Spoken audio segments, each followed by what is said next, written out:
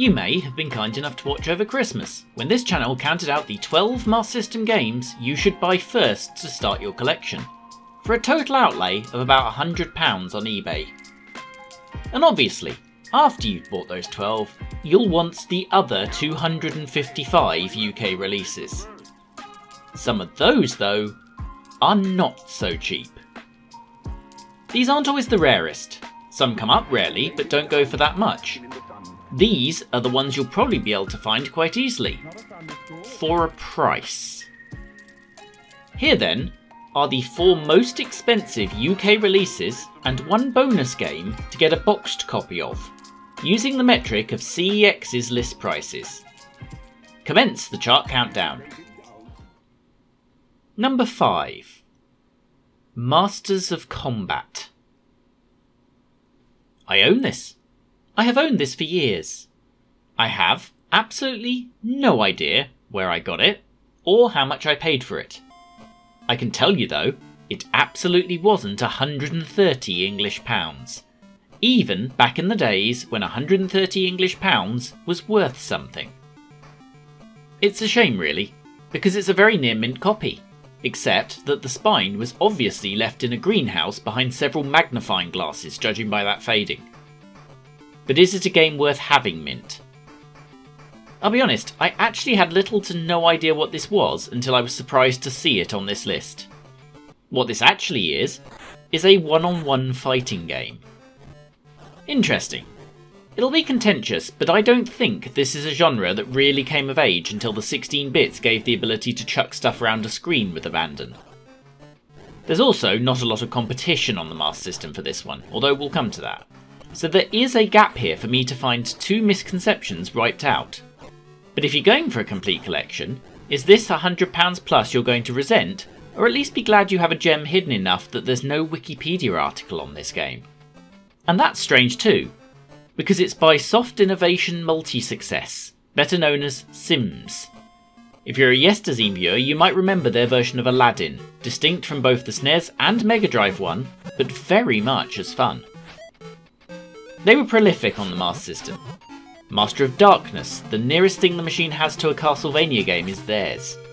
If you own the machine in the day, there is every chance you had one of their two Wimbledon games as well, or their other tennis game.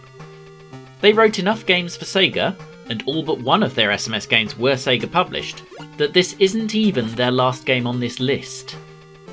Well, first things first, this attract mode is impressive. It takes my objections about flinging things around, and at least on first impressions, makes them look insane.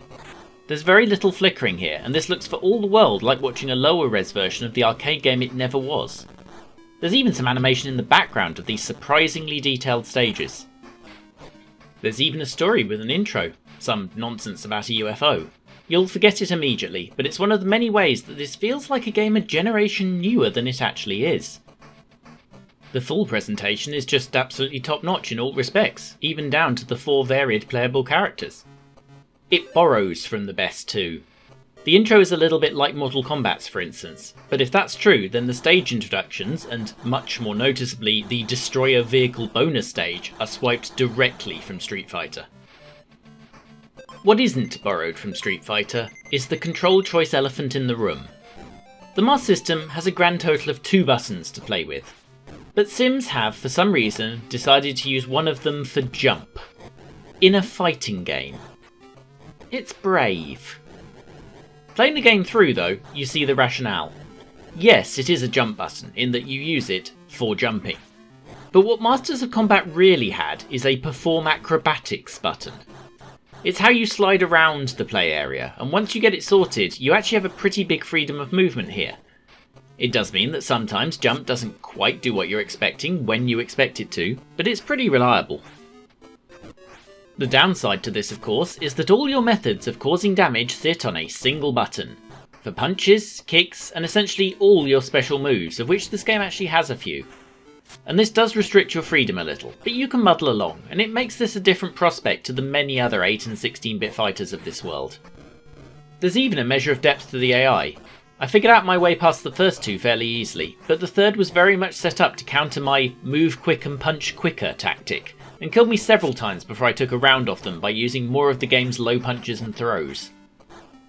I'm not going to pretend anything we're going to look at today is worth the amount of money it goes for, but I don't think I'm spoiling much by suggesting this is probably the only time today I'm going to tell you this is genuinely the best game in its genre for the machine. And it is. I want to go back and learn how to make this thing work, and that's an incredibly rare thing for me with fighters of any generation. It's a genuinely impressive title I suspect has slipped under many more radars than it deserves to. Alternatives are obvious. The UK is, as always, our focus here, and the Master System got releases of both the first two Mortal Kombat games. Much of a muchness between them, they're both merely uncommon levels of rare, and play a surprisingly convincing if cut down version of themselves. Of course, they're never going to be the best version of those games. Masters of Combat is, and was a Master System exclusive everywhere except Japan, where a Game Gear version exists as Buster Fight. Looking outside the UK on Master System, you have the miracle working version of Street Fighter 2, but that's even more expensive. And again, buy a SNES. There's also a port of Mortal Kombat 3, but please ignore that. It's a Game Gear game and plays badly in a smaller window than either of the two real ones. I'll say it, best one-on-one fighter on the system. If you're an emulator or EverDrive player, get on this. If you're collecting, for your money at the very least, you're getting a uniquely playing system exclusive for your clearly far too much cash. Number 4. Championship Hockey. This is the other one I own, and this time I know what I paid and where. As kids, we used to go to Wales on holiday, where a couple of the markets had decent game stalls. On one of those trips, I picked up this near mint copy of Championship Hockey from the slightly slow to react Ron's Tapes for £10. I know this, it's still just about got the price sticker. It's also even got the registration card.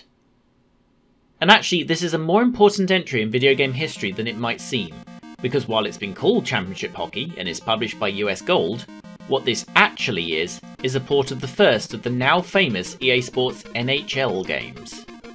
I love those EA titles. I own NHLPA 93 twice. The MS can technically do an ice hockey game. I'm no fan of Slapshot, but at least it proves that. This... this is not good. For a start, it's a flickery hell. You could blame the Master System for this. It does have trouble throwing a lot of sprites around after all. And you could sell that to me, if it wasn't for, say, the by then four year old Speedball, which has absolutely none of these issues. The technical issues certainly don't stop there. It moved quick enough, just about, but the scrolling cannot begin to keep up. Probably the vast majority of the goals I scored happened off screen as the AI, or more often I, shot from halfway down the court. Surely the goalie will save that, you'll say. Well, yes, not so much. The goalies appear to follow the schoolyard practice of being whomever was picked last. I think I saw them save two shots total while I was playing, and more than once the puck seemed to pass straight through them. I'm also pretty convinced that the own goal I accidentally scored early on in the match actually counted for me. It's difficult to know because showing the score is considerably too much work and I didn't see it until half time. That's not the end of the problems.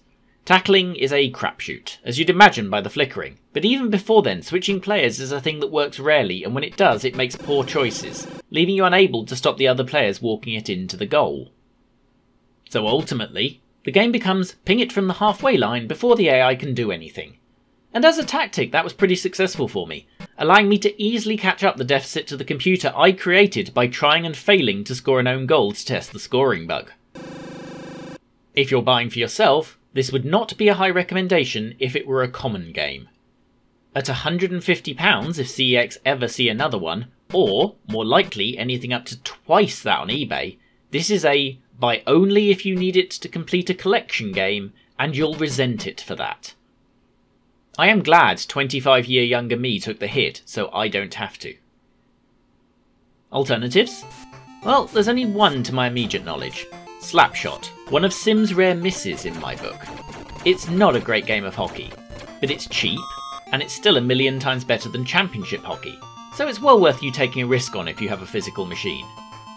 If you're ambivalent about your ice hockey game being on Master System though, get NHLPA 93 for the Mega Drive. It has still not been beaten. Number 3 Power Strike 2.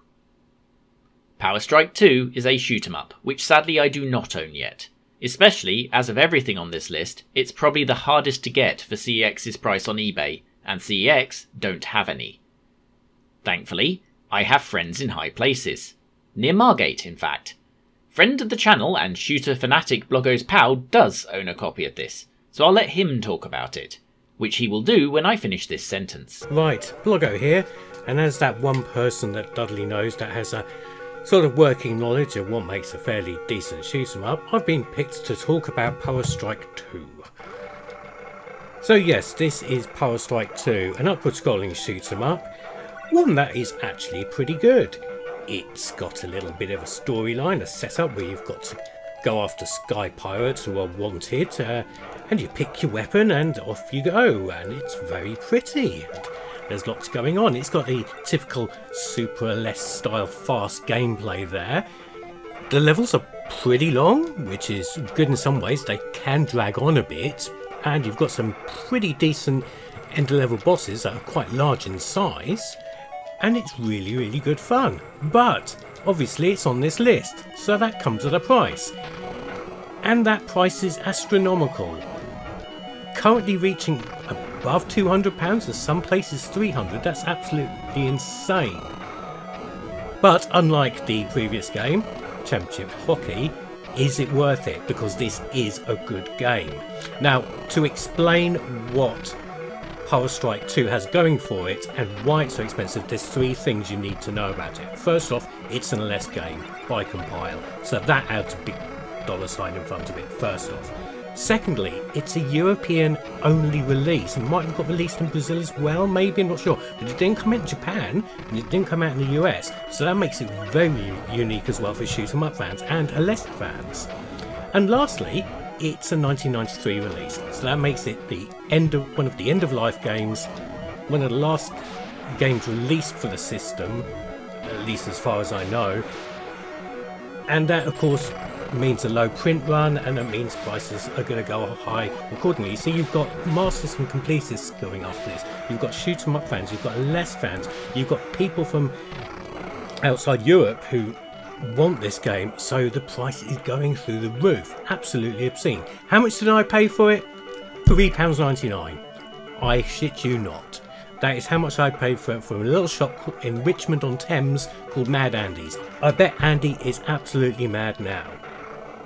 But you haven't got £300 to spend on a Master System game, but you do want a decent shoot 'em up. Okay, so on a budget, conservatively, with a small c, I'm going to pick Scramble Spirits. £20 or so will get you a, a box copy of Scramble Spirits.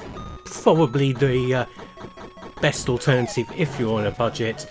Um, aside from that, there's probably not much to compare with. There are not many upward scrolling shoot 'em ups. I'd leave Bomber Raid on the shelf. Power Strike 1 is still expensive, not expensive for Power Strike 2. And there's Action Fighter, which is a bit more like Spy Hunter, but okay, that's fine. So, yes, there you go. That's a quick overview on Power Strike 2 for the Master System, number 3 in Dudley's list of expensive Master System games for you people trying to get that collection. Number 2 Buggy Run. Here we are then, at the most expensive UK release in CEX's list, and thus quite possibly the most expensive one I have to buy to complete the collection. UK copies actually go for more than this on eBay, but for some reason you can usually get Brazilian copies for about this price. Nonetheless, I so far have not, so over to emulation we go for this one and from the rolling attract mode demo, we make two observations. 1. The music is lovely.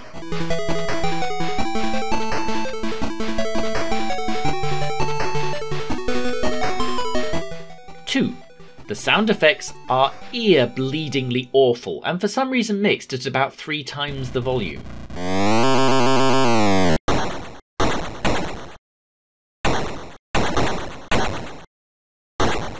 This is the other game by Sims on the list, and you could have guessed that, because the first impression of the thing is it's incredibly pretty and runs perfectly. They knew their SMS did Sims, probably down to it being 75% of their name. I love me a good remote control racing game. And this handles very well. It's competitive too. The AI are uncharacteristically smart and will absolutely race you, which is by no means always true of these games. This does have the nice effect that you don't have to win every race to take a championship.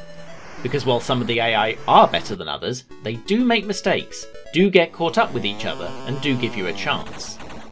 My first Tesco, I only won one race in the season, but I came a close second in the championship because I was second or at worst third in the other races. I would appreciate a mini map though. It's a problem that can be solved by learning the courses, sure, but they're still a smidge short on landmarks being an 8 bit game. So you do find yourself scrambling to keep up with the turns appearing. It's a problem not helped by the fact I can absolutely feel the emulator lag in this playthrough. There are other fringe benefits to winning, as you might expect, in the form of a familiar but comprehensive upgrade shop, with all the usual items such as better engines and tyres, as well as some offensive and defensive weaponry and turbo boosts. As you can see here, my car is currently level 2 sus, much like me in any Among Us game. There's a bunch of other options too, as well as the, let's call it career style mode, there's a one on one against a CPU opponent. This is more imaginative than you'd think as well. You can choose any of the 15 courses in the game, pleasingly zero indexed. There's also something I'm not sure I've ever seen in a game of this type, but I immediately think is the best idea. You get to choose 10 upgrades from the entire pot to take into the race. The fun decision you have to make is that your nitros and missiles count. My CPU opponent took a bunch of those, whereas I decided to just try and outrun him, which ultimately worked. I suspect in a two player match where you can also do that, it might be a lot more tactical. It's a really interesting idea I look forward to trying out when other humans are allowed to be close enough to play. One other cool feature that helps to make up a little for the lack of map is you can get a nice flyby preview of any of the courses in the game, so they're not a complete mystery to you. It's a lovely package, and again, it's a standout title for the system, and it's a damn shame you'll struggle to find it for any even remotely sensible price, especially as it's a game that would genuinely benefit from being on real hardware. Alternatives are easy. There are two other similar games that are also different, but both very good. Semi rare, the Master System got a very nice version of Micro Machines that's every bit as good as the other versions of the original. But that will cost you 30 quid, so here's a cheaper suggestion. RC Grand Prix is an earlier attempt at much the same thing, from the developers who would later give us the god-awful Toys game and Penn and Teller Smoke and Mirrors.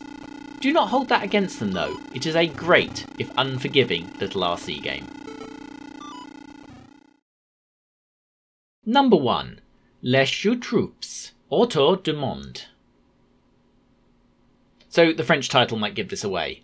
This never got an official UK release, although copies made it here but it's the single most expensive Master System game you can buy in CEX.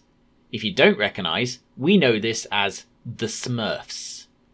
This is the second one, and for those who bunked off French GCSE, it's The Smurfs Travel the World. This being a non UK release, I have not yet succumbed to its temptation, and actually, as you join me here, I've never played it in any form. So let's rely once again on my trusty Raspberry Pi 3, and you can join me playing this for the very first time.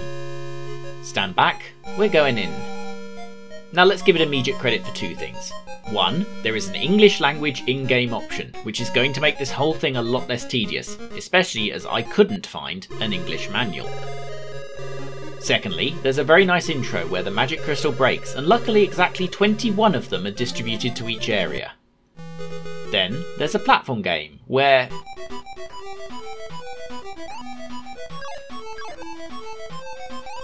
Yeah, it appears Smurfs can't swim. Can Smurfs normally swim?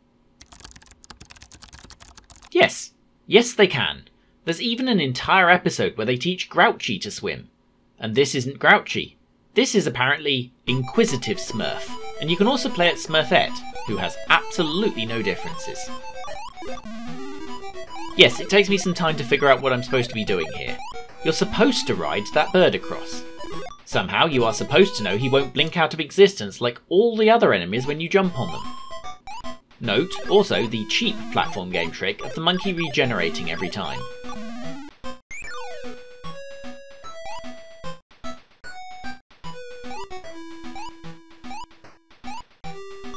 Those crystal things are the ones you're supposed to collect. Apparently there's six in this level, and a lot of them are hidden quite out of reach. It's frustrating. And really, it's a flaw of level design.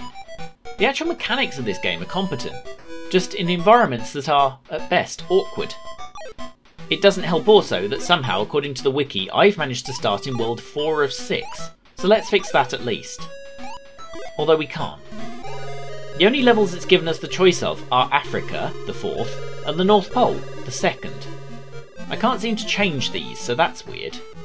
But we've done some Africa, so let's try some North Pole. I know what this slightly awkward platformer needs. An ice level, said absolutely no one ever. But again, the problem really is weird level design, and again a weird enemy who appears to be concealing the shards for some reason.